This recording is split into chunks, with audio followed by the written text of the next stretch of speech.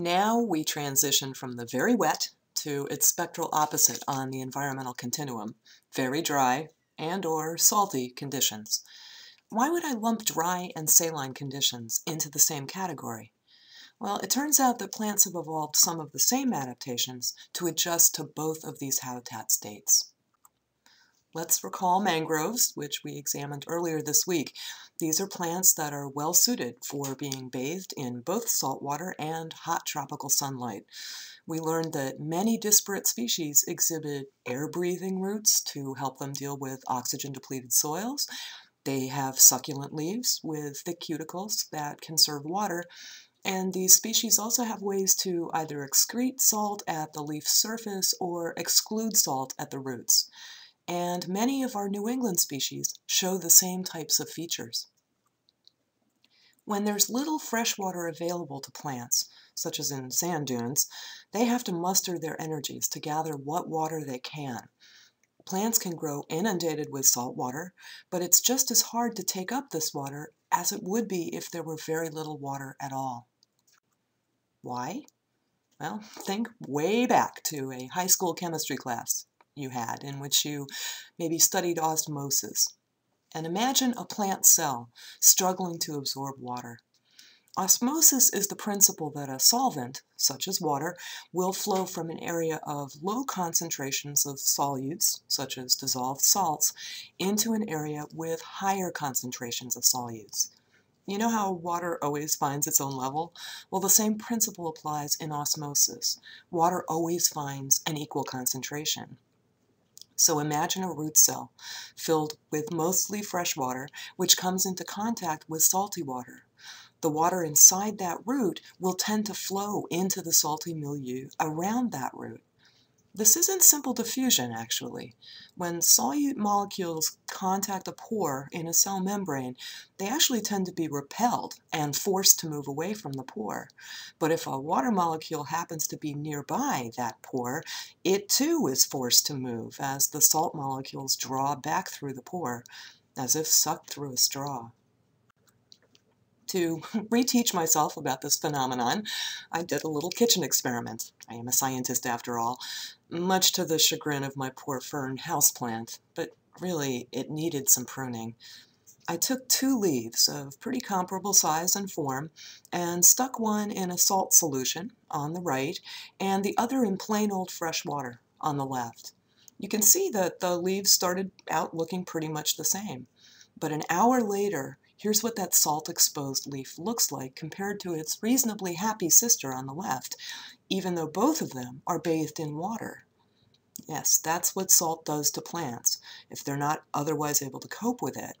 And as any of you may have lamented when you went away for a two-week vacation without watering your plants, this is also what a leaf looks like when too dry. So how do plants cope? Well, in many ways. In the short term, they ramp up hormones. If you recall about mangroves, I mentioned a hormone that occurs in elevated concentrations in the tissues of mangroves. I didn't identify it then, but I will here. It's abscisic acid, also known as ABA for short.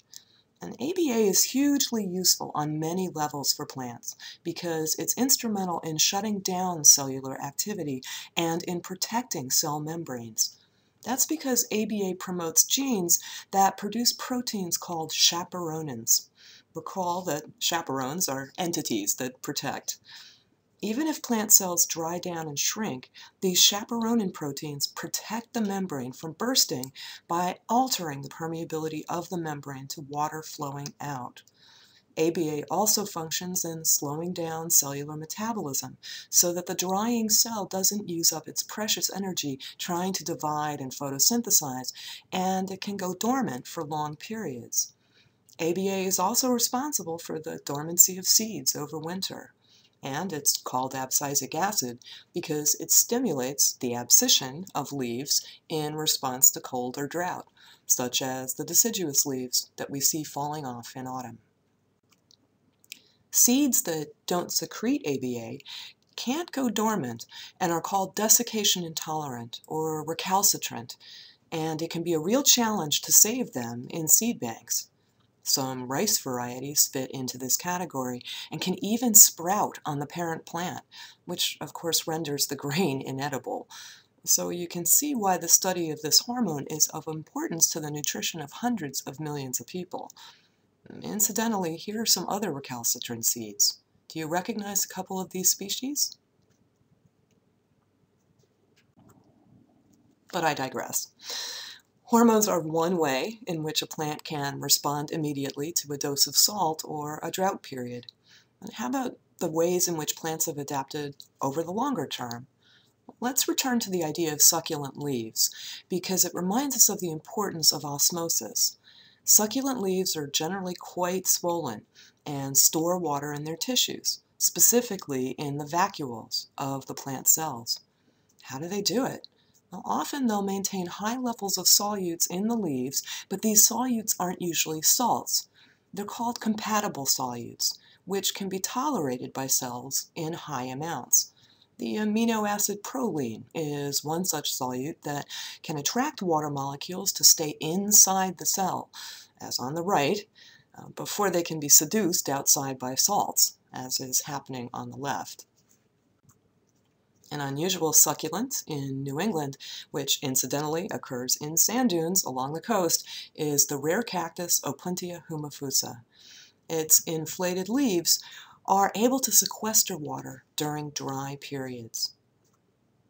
But perhaps our most extreme succulent is common glasswort, Salicornia depressa, which occurs in salt marshes. The leaves are barely recognizable as they've been very reduced as you can see on the left, and the stem itself is inflated to hold the water. Another way in which plants adapt to a lack of water is to array their roots to tap into what water they can get. Some sink roots deeply into the ground to access groundwater all year long and others array their roots very widely and shallowly to capture rainwater before it seeps through excessively drained soils. Plants have also developed different modes of photosynthesis from the type that predominates in plants of more moisture-rich environments.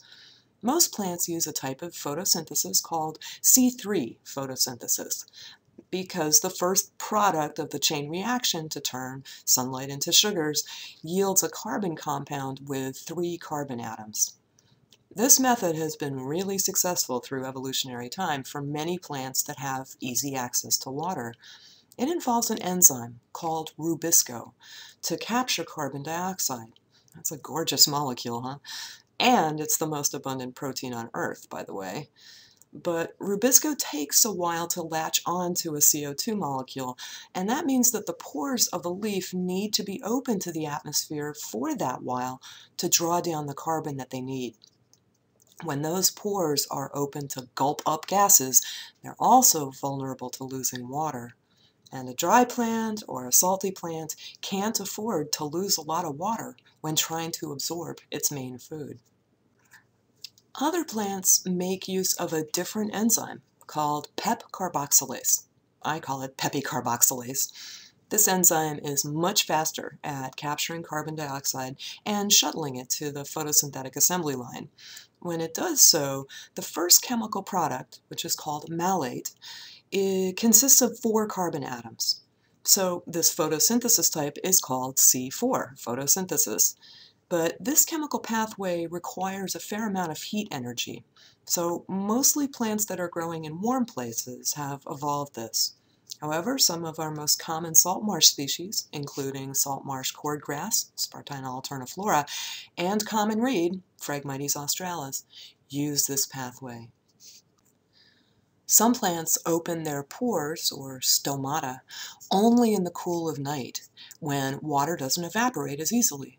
They breathe in CO2 overnight using PEP carboxylase and store it as a four-carbon molecule called malate. And in the morning, that malate is transported to the organs, the chloroplast, that can convert it using rubisco to the C3 molecule that drives conversion to sugars to feed the plant. Get up in the middle of the night to taste a cactus, I don't actually recommend chewing on a cactus, especially in the dark. Um, but it will taste very acidic, as malate is an acid. And this type of photosynthesis is called CAM, or crassulacean acid metabolism, for the succulent plant genus Crassula, in which it was first described. It's important to recognize that plants are tough and resilient. Even wilting, which may cause you to heap pity on a poor plant, is an active adaptive response.